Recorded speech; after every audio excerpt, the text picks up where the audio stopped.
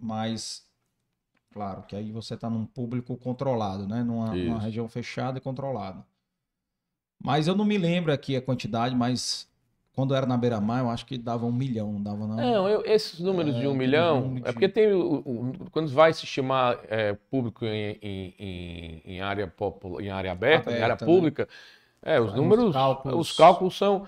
Mas, assim, os números mais precisos giravam em torno de 300 a 400 mil pessoas por dia. Dava um milhão em quatro dias. Você ah. tinha, de fato, mais de um milhão de pessoas em quatro dias. Mas, então, assim, às vezes a gente fala de um evento que aconteceu na, no próprio aterro da Praia de Iracema e diz que tinha um milhão de pessoas. Mas se você calcular a metragem quadrada que tem ali, e se você colocar quatro pessoas por metro, que já é uma conta muito alta, não cabe um milhão de pessoas ali. Então as pessoas às vezes criam um número que de fato não cabe.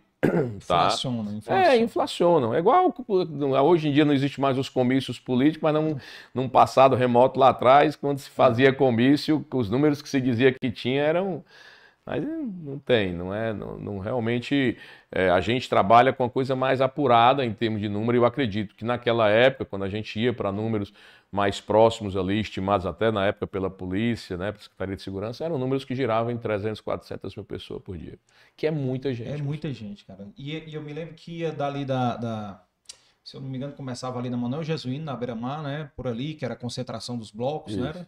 E a dispersão a gente era já teve... frente ideal, né? É, Fazia... é porque a gente já teve os dois circuitos. Dois sentidos, é, é. A gente já teve o circuito na contramão e o é. circuito favorecido pela, pela mão, né? Ele, é. ele finalizou na contramão, mas no início era o contrário, né?